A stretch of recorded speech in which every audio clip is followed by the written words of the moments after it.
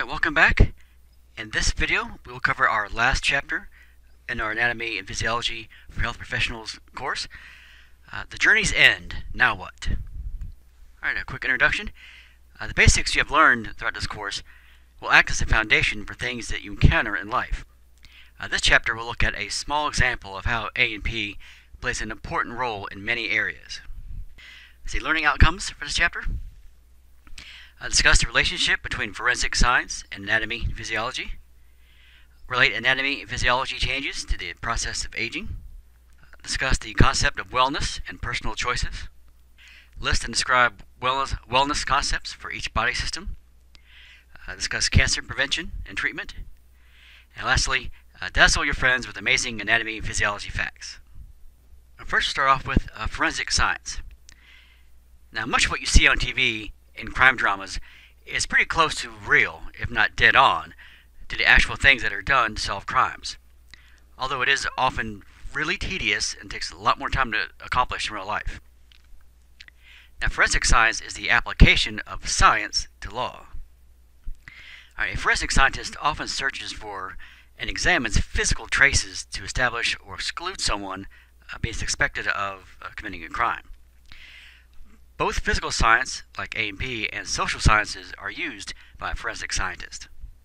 There's the, the stereotypical chalk outline drawing of a dead body, even though this is never ever used in real life. It does you know, look cool on TV.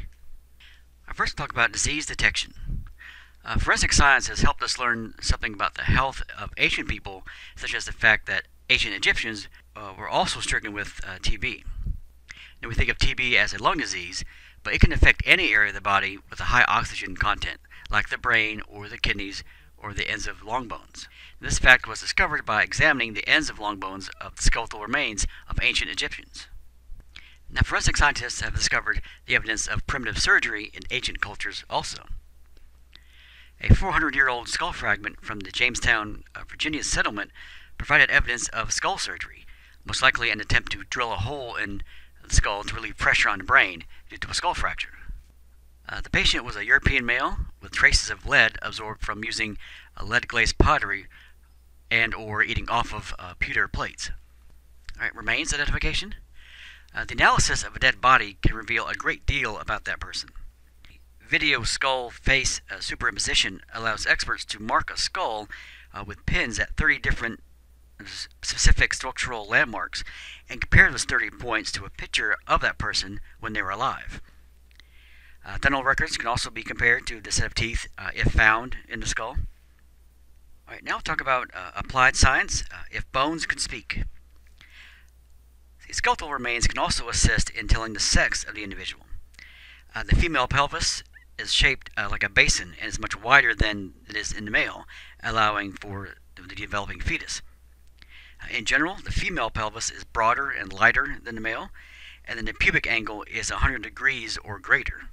See, the male pelvis is more funnel shaped and is much heavier and stronger with a pubic angle of 90 degrees or less.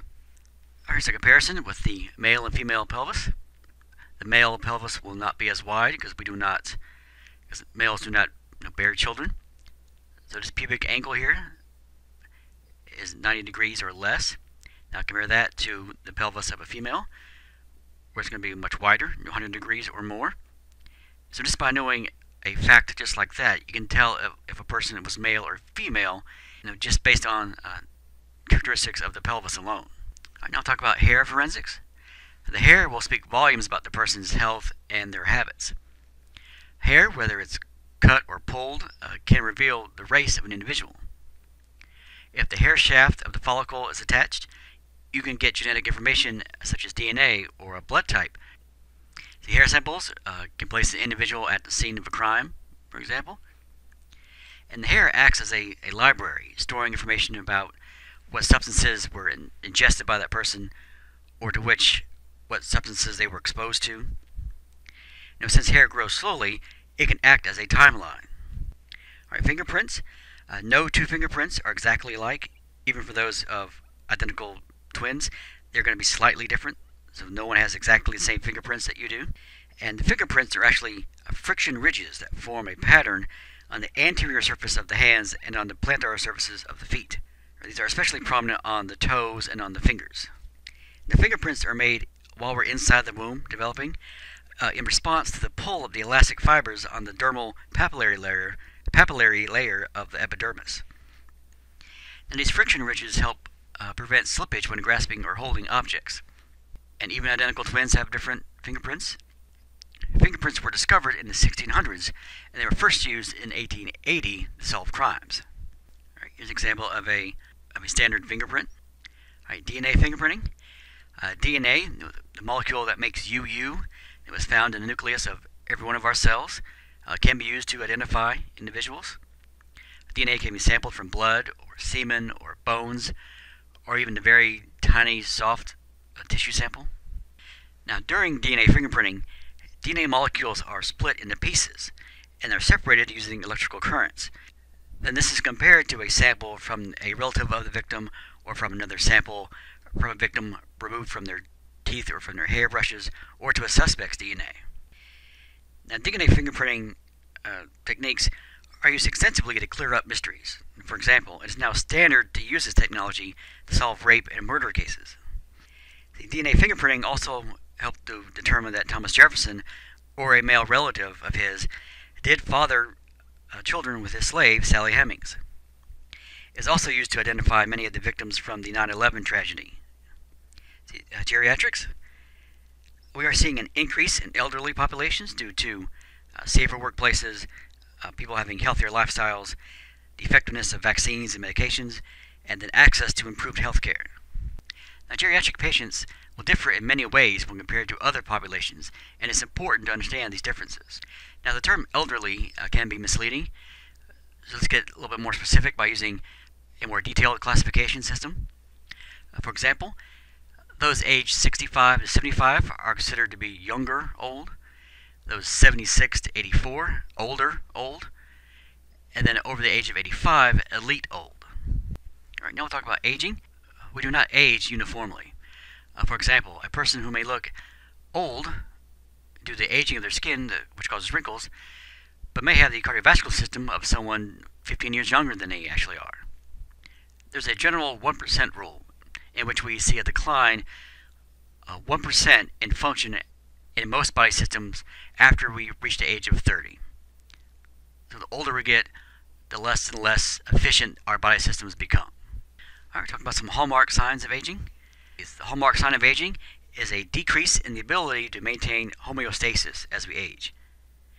Now, older people may have a normal baseline, but will show a decrease in the ability to handle stressors.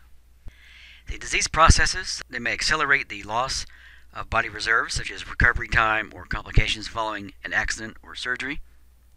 It may be difficult to evaluate the elderly because of declines in vision, uh, hearing, or possible their, uh, possibly their mental abilities. Some general body changes. The total body water declines in both men and women, which will lead to faster dehydration and slower excretion rates of medications. From age uh, 20 to 70, there's a loss of body mass due to as much as 30% loss in numbers of muscle cells and a general decrease in muscle strength. We see an increase in body fat, slowly, slowly increasing from uh, 25 to 45, peaking at age 40, and this may continue to about age 70. Uh, the fat is much uh, deeper, more abdominal, and more uh, found in the viscera than the uh, subcutaneous fat. Uh, bone density. bone density will usually peak at age 35 in both men and women.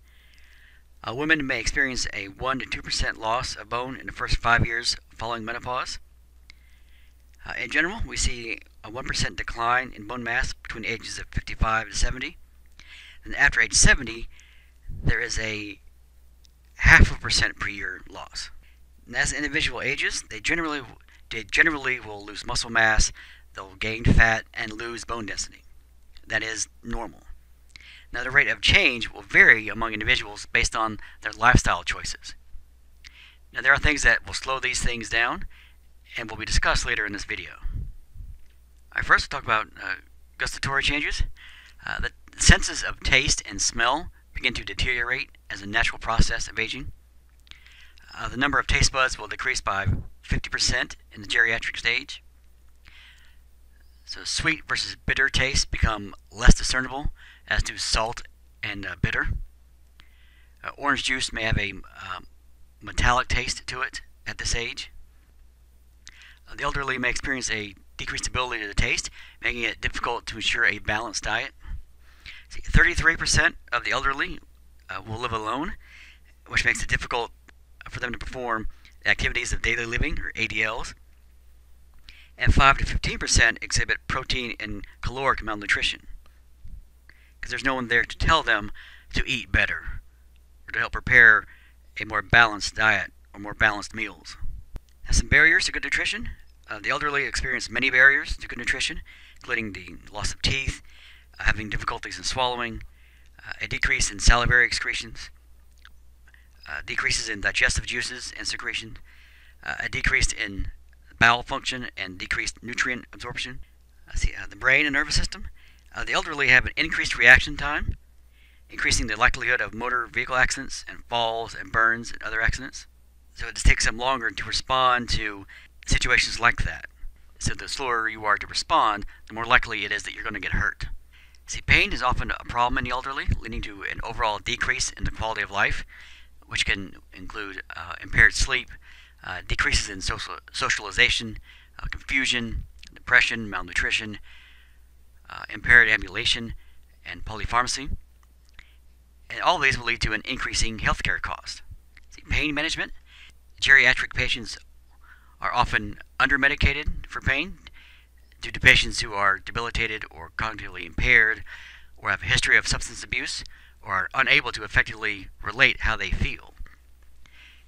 If they can't tell their doctor how much pain they're in, then they will be given the proper medications to alleviate that pain.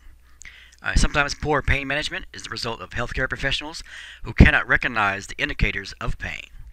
Uh, pain indicators, uh, behavioral changes related to pain can include uh, changes in personality, such as becoming more agitated or more quiet or withdrawn or being confused and depressed. Also, a loss of appetite is an indicator of pain. Uh, screaming and swearing, uh, name calling, uh, grunting, uh, noisy breathing, fidgeting or rocking, Uh, wincing, uh, rubbing a sore area, cold, clammy, pale skin. All these are good indicators that someone's in pain. Uh, the cardiovascular system. changes in the aging cardiovascular system can include the calcification of the heart valves, which will decrease how effective they work, a lessening of the flexibility of blood vessels, which can lead to clogging of these vessels, the inability to deal with uh, blood pressure changes, resulting in a higher blood pressure, a decrease in cardiac output, and a 25% decrease in the maximum heart rate. The genitourinary system. Uh, between the ages of 20 and 80, we lose about 50% of our renal function. Now, this number is especially significant when you think of the number of medications that, that this age group will use. Reduced metabolism of medications can lead to the accumulation of the drug, which can be harmful or even uh, toxic. So there's an there's also an increase in incontinence in this age group. The integumentary system uh, changes in the integumentary system include the loss of the elasticity of the skin, an increased uh, delicacy of the skin, uh, multiple skin lesions, an increased incidence of skin cancers. And there are some situations that can accelerate these changes, including uh, sun exposure, or smoking, or medications like uh, corticosteroids, all these can accelerate these changes. See, polypharmacy is the administration of many drugs all at the same time is a major concern in this age group. The contributing factors include the fact that they see many different specialists for a variety of diseases, but there's no one doctor who oversees everything. So these multiple diseases have competing therapeutic needs, with the combinations of drugs uh, potentially causing life-threatening situations. So aging can also affect the rate of drug absorption and distribution and metabolism and also excretion from the body. So this is why it's so important to tell every doctor that you see what drugs you are currently taking. So there's no conflict with a new drug that he may or she he or she may give you. All right, clinical considerations for drug therapy. Uh, review all medications that the patient is taking, including vitamins and supplements, looking for any kind of possible drug interaction uh, testing the liver and kidney functions because they affect the rate of removal of medications. Uh, when medicating with uh, opioids, dose by age, not by body weight. Analgesics are stronger and last longer in elderly patients, so it's better to start low and then go slow from there. They instruct the elderly to always keep a written list of their medications and their dosages in their wallet and update them when medications change. See, wellness. You are currently making important personal choices about the lifestyle that you want to live that will have a profound effect on your future health and lifespan. So, eating properly, exercising within reason, whether or not you smoke or not, whether or not you whether or not you drink alcohol and how much, uh, where you work, where you live, and all these are important decisions that impact your overall health and overall wellness. Not only today, but in years down the road. Now, individual accountability and informed choices are key concepts in deciding your lifestyle. Now, peer pressure can be both positive or negative, and also the ability to read and critically analyze what you read. There's a lot of uh, junk science that's out there, and those tend to be more opinion than actual scientific fact. Just because it's online doesn't make it true. Just because it's on TV doesn't make it true. Being able to hear a product, hear its description, and then critically analyze is this legitimate or is this just a sales pitch. All right, nervous system wellness. Stress is a natural part of life. We cannot get away from all forms of stress, which is a good and a necessary evil because it is a motivator. It helps you protect yourself. Now, when stress becomes chronic, and then you can't effectively deal with that stress, it can affect some or all of your body's various systems to some degree or another. See, a stress imbalance can cause eating disorders, uh, digestive problems, uh, a decreased immune system response, decreased memory and work capacities, uh, sleep problems, joint and muscle aches, heart problems, and personality changes. And some of these can be very life threatening. All right, now we'll talk about the whole patient. Now, when assessing a patient, we too often look at the disease by itself instead of the whole picture. It's very easy to get focused on what's making them sick or what their chief complaint is, but you need to be able to take a step back and see, be able to see the entire picture. This includes not only the other body systems, but also the mental and spiritual aspects of that person. Now, mental illness still carries a stigma, unfortunately, but it's no different than any other disease that requires treatment. A skeletal system wellness uh, of course, your diet is extremely important to your growth and protection of your bones. So, a diet rich in calcium and vitamins helps to maintain good bone growth and development. Also, weight bearing exercises are beneficial as well. Whenever you do weight bearing exercises, not only are you building up muscle and muscle strength, you're also building up bone as well. See, uh, carpal tunnel syndrome uh, can occur due to repetitive motion in the workplace, like uh, working on a keyboard or playing a piano or hammering and it's caused by damage to the median nerve because the skeletal structure of the wrist is restricted in movement for, for extended amounts of time when the wrist is kept in an upward bent position. Okay, here's the, the median nerve right here. We're zooming on this image here. So as the wrist gets bent, let's say if you're typing on a normal laptop or on a keyboard, if you keep your wrist in that kind of bent at an ankle position for too long, the median nerve will get squeezed which will cause tingling and irritation of this nerve. The muscular system wellness. Proper exercise and diet will help to develop and maintain properly functioning muscles. Now, there are many types of muscle training programs out there, and it's important that you find what is best for you and your needs and for the outcome that you're looking for. The muscle enhancement drugs are often dangerous and have some serious side effects. All right, here we have what's called the activity pyramid it's a good illustration on how active you should be during a typical week and what you some common examples of what you could be doing. For example, the one on the very top, things that you should do sparingly, you know, such as sitting still, you know, watching TV, playing computer games. You know, two to three times a week, leisure activities, bowling, golfing, yard work. Also, uh, weight training or strength stretching or push-ups You'll do those about two or three times a week. Uh, three to five times a week. Aerobic activities, swimming, long walks, biking, uh, recreational sports, tennis, racquetball, uh, basketball. And this bottom level here of the pyramid, you should make an effort every day to take extra steps. You know, taking the stairs instead of the elevator. You know, at work or at school. You know, walk or ride a bike instead of riding in a car. There's some times in every day that you can take an effort to make make yourself more active. All right, integumentary system wellness. Uh, proper diet and hydration is important to the functioning of the system. Now we should drink about eight glasses of water daily at a minimum. Uh, caffeinated drinks or alcoholic drinks are diuretics, which will make you become dehydrated. It will lead to a net water loss. And smoking will cause premature aging of the skin. That's something you definitely want to avoid. Uh, some sun exposure produces vitamin D.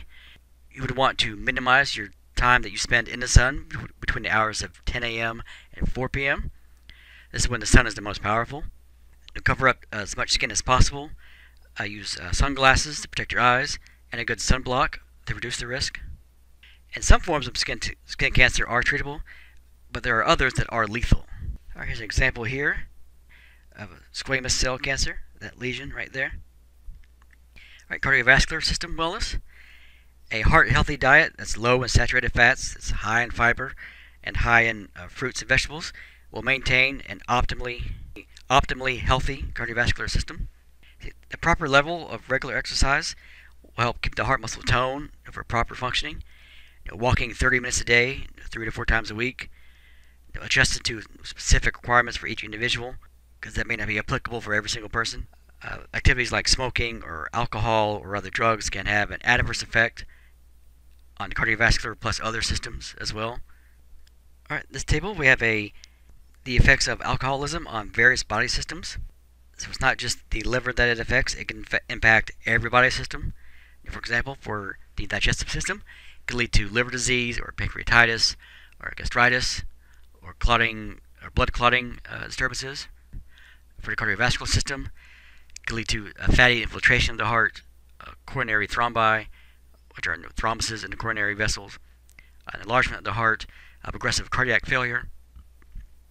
For the nervous system, impaired judgment, uh, very poor powers of concentration, uh, delirium, and, and hepatic coma. So this is another reason why alcoholism should be avoided. All right, respiratory system wellness. Uh, what we breathe in the air around us can also affect our health. Both outdoor and indoor pollution can lead to respiratory problems.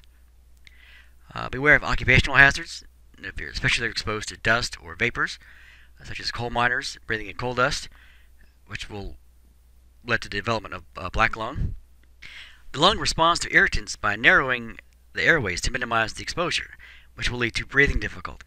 Uh, smoking is the number one preventable cause of respiratory disease because it leads to damage of the lung tissue and also will lead to chronic conditions such as bronchitis or emphysema or asthma. Smoking increases the occurrence of lung infections and colds as well as sinus infections. And 80% of all lung cancers are traced back to smoking.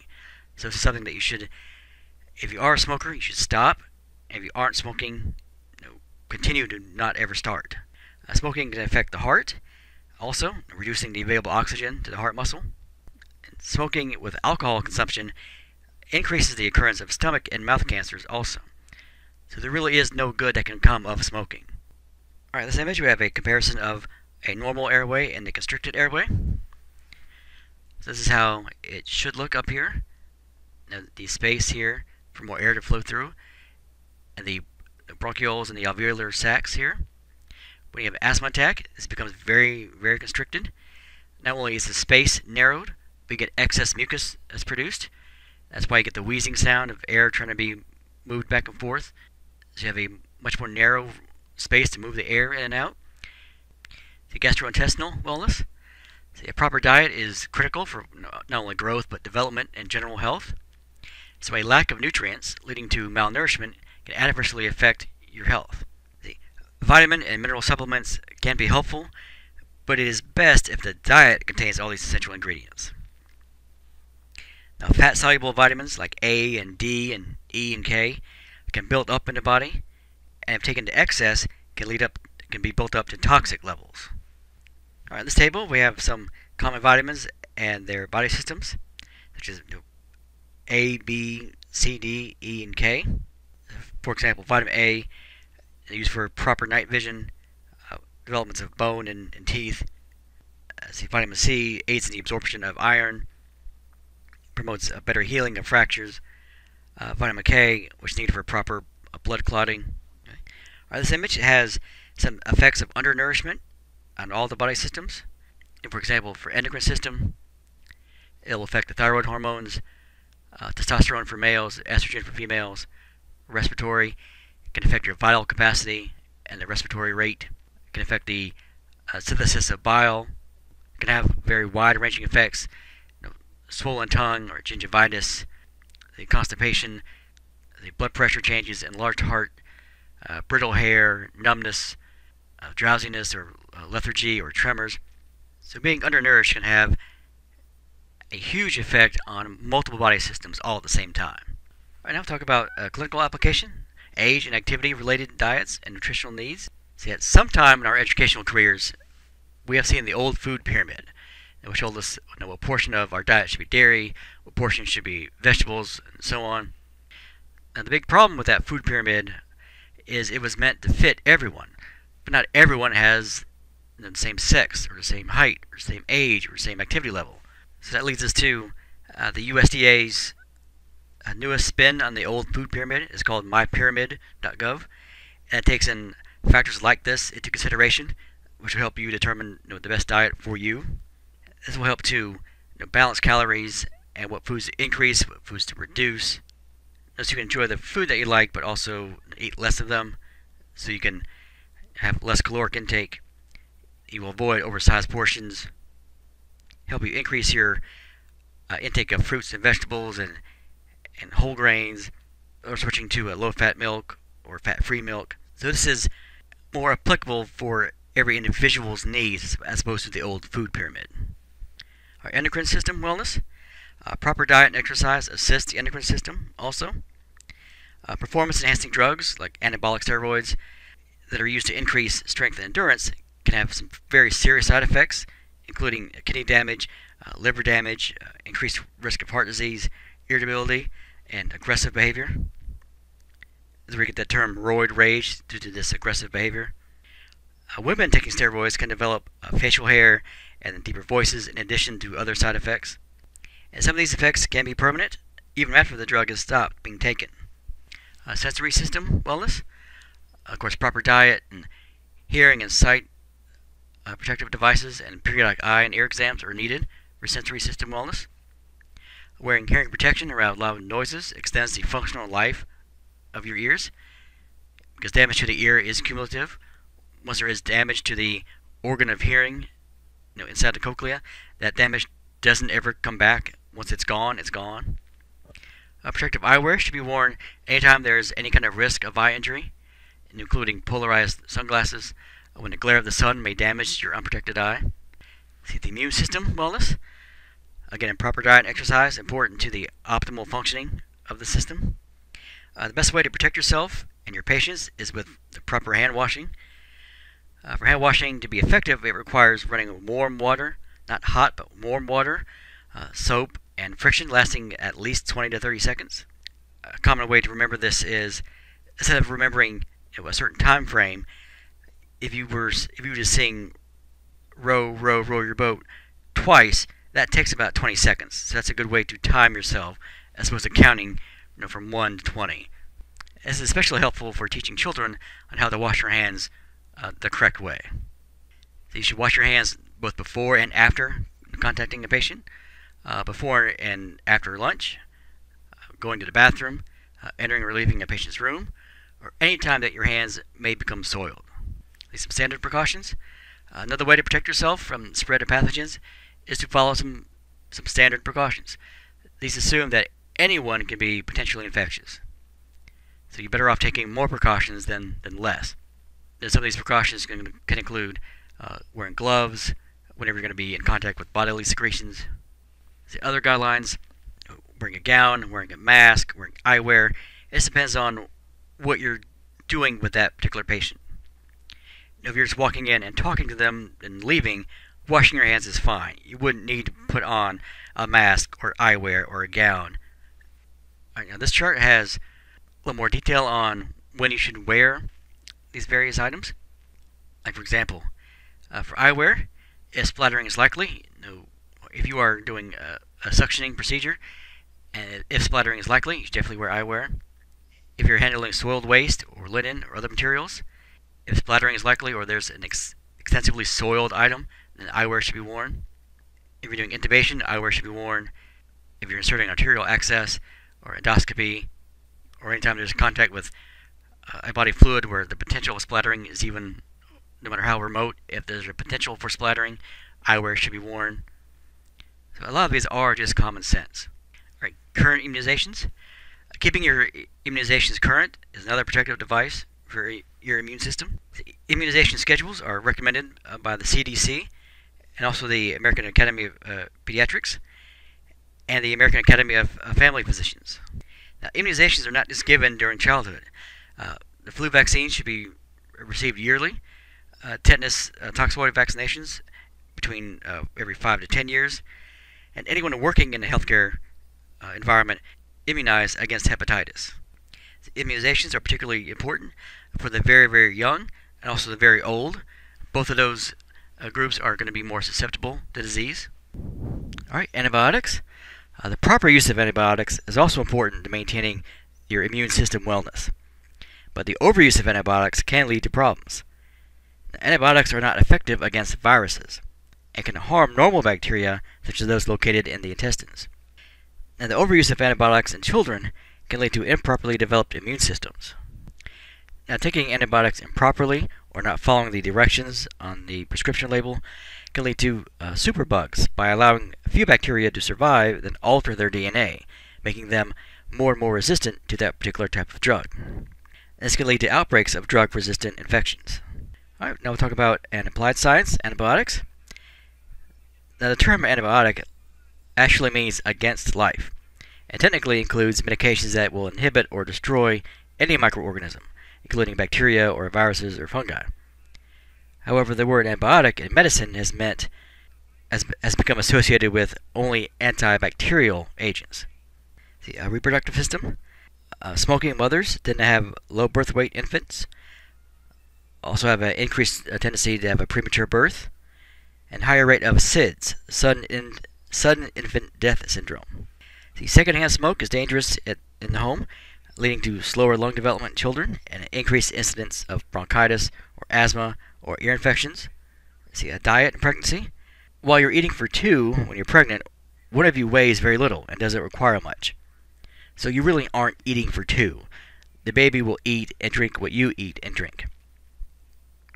So it is important to provide the pregnant mother with important vitamins and minerals and nutrients for the developing fetus and to maintain the health of the mother. Uh, calcium, in particular, is important because if the diet is lacking in calcium, the fetus will rob calcium from the mother's teeth and bones, thereby uh, decreasing the integrity of her own system.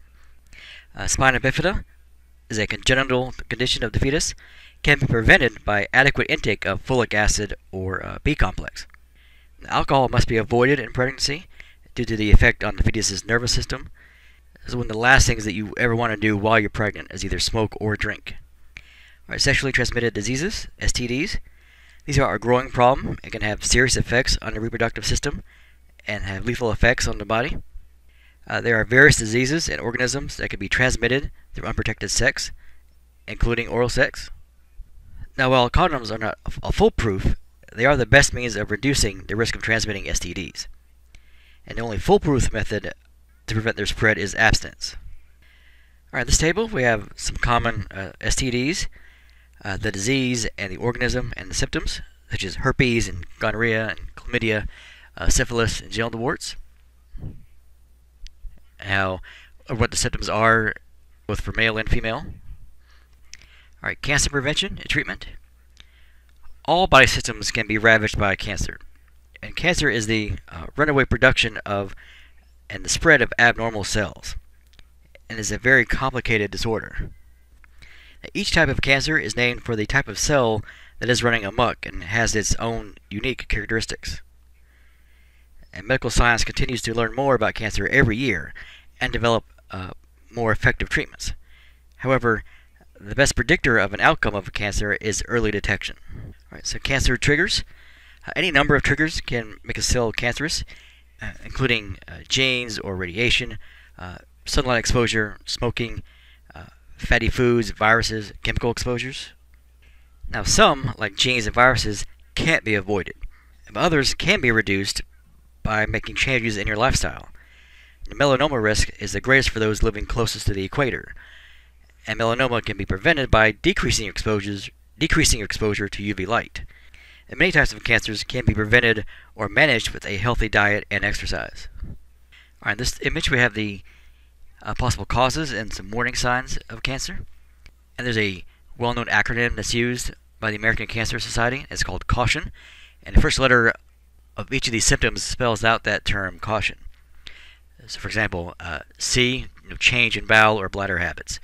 Uh, a, a sore that doesn't heal. Uh, unusual bleeding, uh, thickening or a lump in breast or elsewhere. Indigestion or difficulty in swallowing. Uh, obvious change in wart or mole. And a nagging cough or hoarseness. These are some, some key indicators of possible cancer. Alright, now we'll talk about some amazing facts it comes to anatomy. Uh, senior citizens are more prone to food poisoning because the this decreased senses of smell and taste and reduced acidity in the digestive juices. Uh, nerve impulses can travel up to 426 feet per second. Approximately 480,000 people die each year due to smoking related diseases. It's the equivalent of a jumbo jet full of people crashing every day without any survivors. Right, on average, a healthy kidney will filter 180 quarts of fluid every day, 4 inches long, 2 inches wide, and 1 inch thick.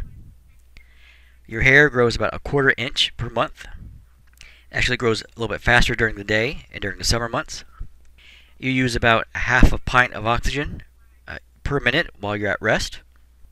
Everyone has one uh, nare larger than the other, so one uh, nostril is a little bit larger than the other.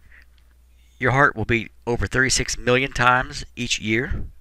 Uh, you possess over 16,000 miles of capillaries. So you have from 10,000 to 150,000 hairs just on your head alone. Each strand can, of hair can uh, support approximately 100 grams of weight. So, at least in theory, a full head of hair could support the weight of two African elephants. Vitamins, uh, natural or in pill form, uh, which one of those is best? Research shows that vitamins and minerals from natural food sources are much better utilized than synthetic pills, but the pills are better than nothing if your diet can't provide what is needed. Uh, the horns of a bull are composed of the same material that makes up your finger and toenails. You have about a quarter of a million sweat glands just on your feet. Are based on uh, some current research of fibroblasts uh, and their doubling ability, before they can no longer accurately divide, we have the potential to live to 120 years of age. So your eyes can see approximately 7 million shades of different colors. Due to its naturally sterile nature, urine can often be used to clean a wound when no antiseptic is available. The ability to roll your tongue into a tube is an inherited trait, and not everyone can do it. Uh, cavities and poor, poor oral hygiene can lead to diabetes and heart attacks. Uh, some experts believe that daily flossing can add over six years of, to your life because the bacteria growing in your mouth can escape into the bloodstream. It can cause problems in other parts of the body. Uh, someone with poor oral hygiene has a four times greater risk of a stroke and 14 times the greater risk of a heart attack. And the risk for diabetes is also much higher. Uh, current research indicates that stomach cancer, affecting 33,000 Americans each year, may originate from uh, bone marrow cells that enter the stomach to repair the damage in the stomach lining. So a recent study has showed that individuals who walked uphill cleared fats from their blood faster, while downhill hiking reduced sugars more readily and improved glucose tolerance. And any, any type of hiking removed LDLs, low density lipoproteins. So this may affect exercise recommendations for various conditions. Okay. A CIPA, CIPA, uh, congenital insensitivity to pain with uh, anhidrosis, it's a rare genetic disorder that affects the development of small nerve fibers that transmit the sensation of pain and heat and cold to the brain. So people with this condition don't feel those types of sensations because the nerve fibers aren't there to transmit those signals. There are only 84 known cases in the United States. These are patients are at a very high risk of injury, uh, like burns, for example, because they don't know when they're in danger. They don't know that they're touching something very, very hot. They don't feel heat or cold, so they don't sweat.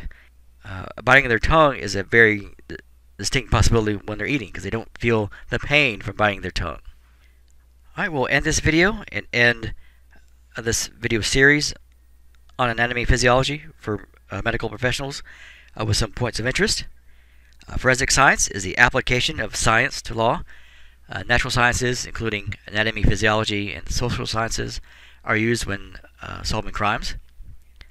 Uh, not only is forensic science used in, to solve current mysteries, but it has been used to solve ancient mysteries as well.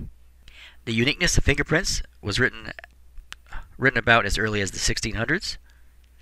Uh, DNA fingerprinting is a form of identifying individuals from only a small amount of body fluid or tissues.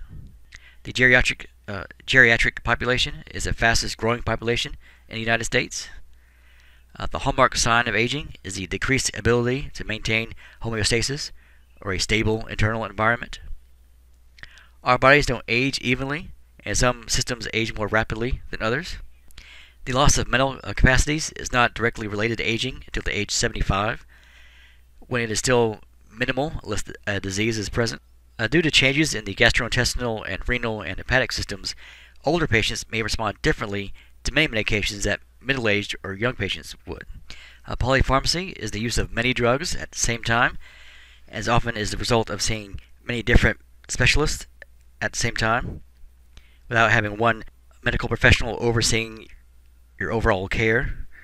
Uh, the most important personal choice that you will make is a healthy lifestyle. And to maintain a healthy lifestyle, it's important to eat properly, exercise, manage stress, and to avoid bad habits. And lastly, uh, some cancers, such as skin and lung cancers, are highly preventable. Limiting the amount of sunlight exposure and the intensity of sunlight exposure, and not smoking are two ways, two easy ways that can help prevent cancer. All right, that brings us to the end of this uh, chapter, and also to the end of our video series on anatomy and physiology for the medical professional. I hope you've enjoyed it. Hope that you feel that you've learned something. And thank you for watching.